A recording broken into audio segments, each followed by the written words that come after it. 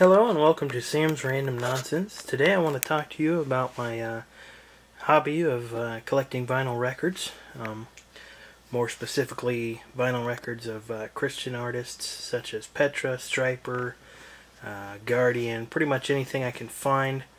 At the moment I don't have too much because, uh, especially with Petra, vinyl records are quite expensive and often hard to come by as uh, with this album here, Never Say Die.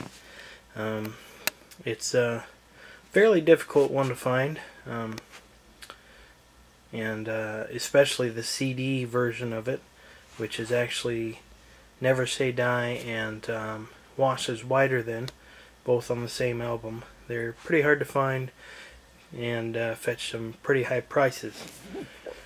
But, uh, anyways, this is one of the albums from uh, the Greg X Volz era.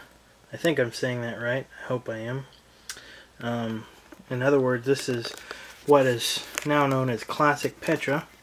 Um, and in fact, the members of the band that were present on this album and some others reformed as Classic Petra recently.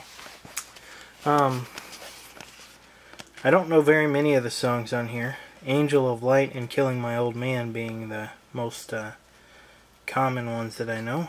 Um, most of the rest of these I've either never heard or don't remember, and uh, that's mainly because this album is hard to find. Um, this album is from Petrified Productions. it's kind of cool. But uh, anyways, I uh, just got this album today only paid uh, $5.45, which I would say is not too bad for a record, especially uh, one of Petra's. And uh, hopefully I'll be finding more and uh, buying more soon. I know there's a couple more at the record store, but I couldn't afford to buy them all. So, uh, anyways, that's my newest addition to my Christian rock vinyl collection. Hope you guys enjoyed the video. Have a nice day and look forward to more soon.